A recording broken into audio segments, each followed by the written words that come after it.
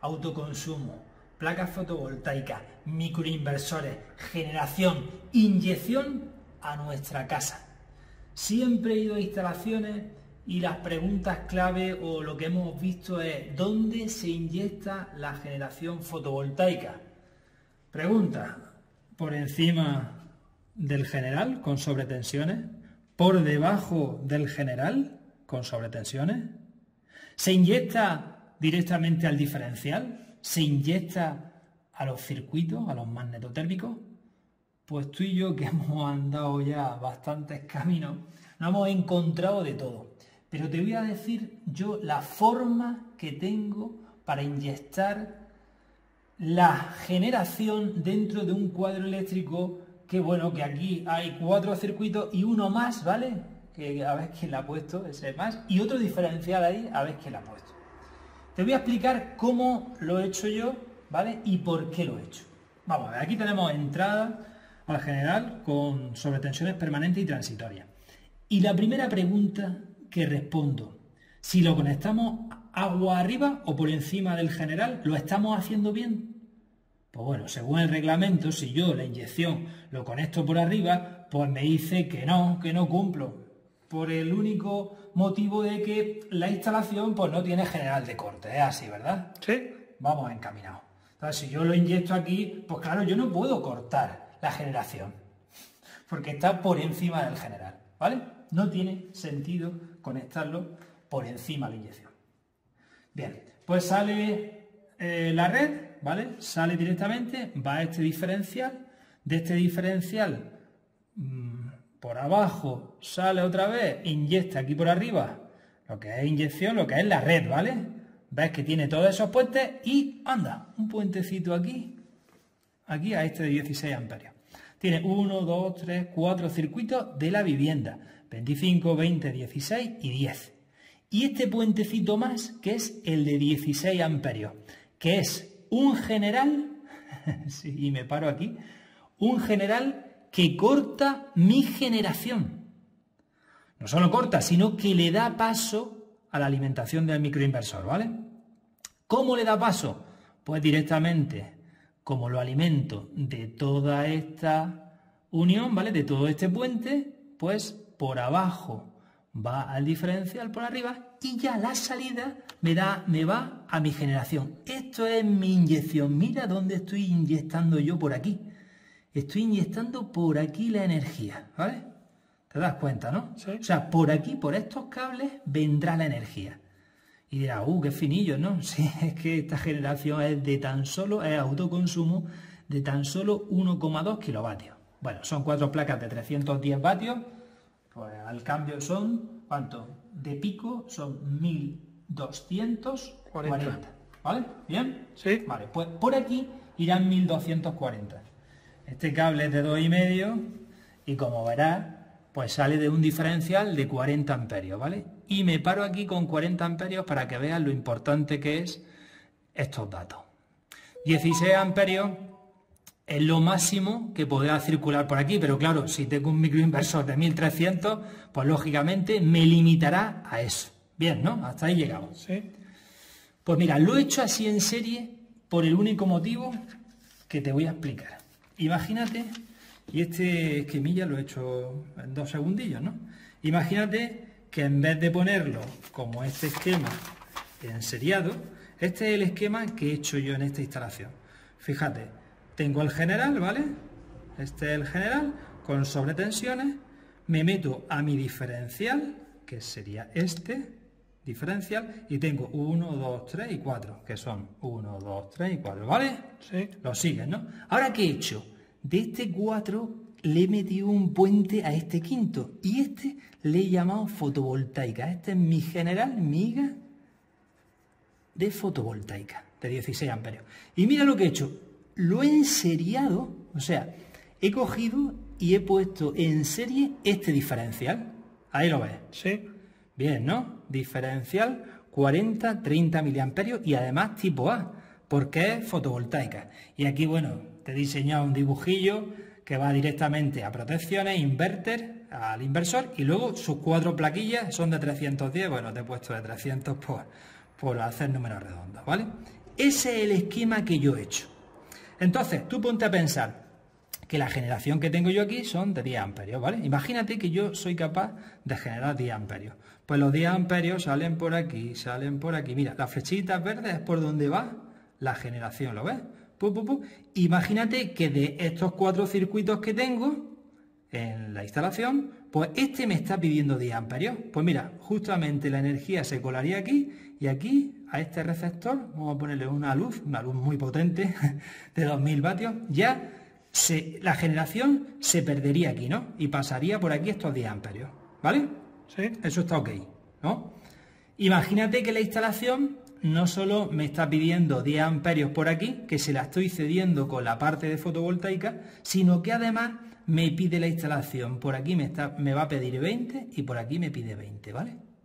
Pues bien, ¿no? O sea, tendría 10 por aquí que me están entrando a este, más 20 y 20. ¿Vale? Bien, ¿no? Sí. ¿Justo por qué? Porque tengo 40. Pero imagínate que me pide aquí 10 más, ¿qué pasaría? Pues esos 10 más pues directamente este IGA saltaría, ¿verdad? Claro, este protector saltaría que es de 40. ¿Por qué? Porque está protegiendo al diferencial. Eso es lo importante de este montaje, la protección al diferencial. Porque si no protegiera el diferencial, pues si yo pido 20, 20, más 10 que me entra de la fotovoltaica, si pasa por el diferencial, el diferencial, ¿qué pasaría? Que se quemaría no es el primer diferencial que hemos ido nosotros a mantener y lo hemos cambiado porque se ha quemado. ¿Y por qué se ha quemado? Porque en vez de usar el esquema enseriando dos diferenciales, si te fijas aquí, tengo dos diferenciales en serie, el primero pasa por este IGA de 16 y luego pasa el segundo para alimentar el microinversor, ¿vale? Bien, si no lo ensería, si no lo tuviera enseriado, pues mira lo que pasa que es el esquema inicial que te he enseñado, que está por aquí. Aquí va, venga. Este lo he hecho a lápiz, el lápiz que tengo aquí. Pues imagínate, liga general, tengo un diferencial, el termiquillo, ¿no? Que esto es la forma de poner, eh, que esto es la forma que a lo mejor tú mm, podías haber interpretado, ¿no? A la hora de instalación, ¿no? Tú piensas eh, piensa que, este, que esto, este montaje dice, bueno, pues es como un IRBE, ¿no? Una, instalación de infraestructura de recarga de vehículos eléctricos. Lo, pongo en paralelo a este diferencial. Y bueno, aquí le he dibujado, mira, fíjate, le he dibujado cinco circuitos. Entonces, partimos por aquí. Generación 10 amperios, que me pasan por el 2 por los 16, que me pasan por el 2, perfecto, 10 amperios, pues perfecto, está todo cubierto. Si me pasara más, pues lógicamente me saltaría este, ¿no? Pero 10 amperios. Y estos 10 amperios, mira lo que ocurre vienen por aquí. Porque este me está pidiendo 10 amperios. Pues entonces hace así, pum, pasa por el diferencial y se lo chupa este circuito, ¿vale? Pero da la casualidad que justamente mientras que yo estoy generando, eh, de la red estoy demandando, por ejemplo, de este circuito 20, que aquí te lo he puesto 20, y de este otros 20, ¿vale? 20. Más 10 que estoy generando, que se lo está chupando este circuito de iluminación, pues ¿qué pasa? Que está pasando por este diferencial 20 más 20 más 10. 50. 50 y tiene protección de 40. Pues se quemaría el diferencial más tarde o más temprano. Por eso siempre que se haga una instalación fotovoltaica hay que inyectar justamente poniendo en serie. Yo estoy deseando que el reglamento electrotécnico de baja tensión saque ya los esquemas en la ICTBT 40 para que no se generen estas dudas y para que no haya problemas a la hora de nosotros llevar a cabo las instalaciones, pues seguir el reglamento, ¿vale? A ver, hermano, pongo el, otro esquema. Este es el esquema que hemos hecho. Si lo tienes enseriado, si hay una fuga, ¿saltan los dos? Buena pregunta, vamos a hacerlo a ver qué pasa. Le voy a generar una fuga, ¿vale? Que tengo aquí tierra, con mi medio de multifunción y a ver si soy capaz de saltar los dos. O a lo mejor solo salta este, o saltan los dos, o a ver qué pasa, ¿vale? ¿Hacemos esa prueba? Sí. Bueno, vamos a pensar que tenemos esto, ¿no? Que tenemos esta parte, esta parte, eh, solo de la vivienda, ¿vale? Esta parte de la vivienda. Y hemos llegado con la fotovoltaica y hemos inyectado aquí, en la parte superior, aquí, Sí. Pues ya no cumplimos. Claro. Ya no cumplimos porque no podemos cortar la fotovoltaica, ¿vale? Claro. Imagínate que inyectamos justamente aquí. También, aquí en esta parte superior, en el diferencial. Yo inyecto aquí. ¿Vale? Si inyecto aquí, ¿qué pasa? Pues que estamos, en las mismas. Que cogería, cogería, metería 10, que inyectar aquí es lo mismo que inyectar aquí. Por abajo, o sea, por aquí no cumplimos, ¿vale? Por aquí tampoco. Porque es lo mismo que conectar aquí. Efectivamente, que es lo mismo que conectar aquí. Porque aquí estaríamos metiendo 10 de la generación más, que, la, más casa. la casa 2020. Se quemaría, ¿vale? Se quemaría. Entonces, siempre ¿Por dónde hay que inyectar? Por abajo del diferencial, que es lo que he hecho yo aquí. Es añadir un circuito más a la vivienda, que ese circuito es de fotovoltaica, que es un general, un corte general, y luego, lógicamente, pasarlo por el diferencial para tener protección eh, sin problemas de fuga, ¿vale? Y que estemos protegidos las personas, lógicamente. Claro y no llevar líneas, porque claro, esta es otra cosa, ¿vale? Porque si yo inyecto aquí directamente, ¿qué pasa? me estoy llevando, claro que me estoy llevando, me estoy llevando una línea por ahí por mitad de la casa sin ningún tipo de protección. Ahora, hace un taladro, hace no sé qué, pum, pincha. Y ahí no hay nadie que se entere de esa derivación, con lo cual el calambrazo es interesante, ¿vale? Al igual que si yo inyecto aquí, tampoco tengo protección. Al igual que si yo inyecto aquí, tampoco tengo protección. ¿Cuándo tengo protección? Cuando inyecto después del diferencial. ¿Y cómo tengo que poner los diferenciales? En seriado. Así. Así sería el esquema que yo sigo e interpreto como instalador autorizado que tengo o que debería seguir en todas mis instalaciones. ¿Cómo lo haces tú? Déjalo ahí abajo en comentarios, anda que aprendemos todo, ¿vale? Multifunción que le vamos a provocar la fuga. A ver por dónde saltan las chispas. y preguntará, bueno, claro, en todas las instalaciones fotovoltaicas, pues normalmente los clientes, como son muy eficientes, muy ahorradores, se compran un coche eléctrico. Entonces, ¿qué haces? ¿En serio también las protecciones de coche eléctrico en esquema 4 aquí en el cuadro eléctrico? ¿Qué haces? Mira, te lo voy a explicar. Aquí sí lo puedes poner en paralelo. ¿Por qué? Porque es un circuito, es un diferencial, ¿vale? 40-30 tipo A, que va a entrar 32 amperios, solo va a consumir 32 amperios. Como máximo. Como máximo. Entonces, vamos a seguir otra vez esos 10 amperios que yo generaba por aquí por mi autoconsumo, ¿vale? 10 amperitos van por aquí, pero aquí no hay ningún consumo en todos estos circuitos la casa no está consumiendo nada. Pues esos 10 amperios son muy inteligentes y pasan por este diferencial, por este, ¿lo ves? Que es el que tengo dibujado, por este. Y como el coche me está demandando 10 amperios, pues dice, pues para ti 10 amperios, ¿vale? Pero es que el coche me está pidiendo 32 amperios. Me dice, no, yo quiero cargar muy rápido y quiero ir al máximo, a 7400 vatios, ¿vale? 7,4 kilovatios, aquí 7400 vatiacos, ¿vale?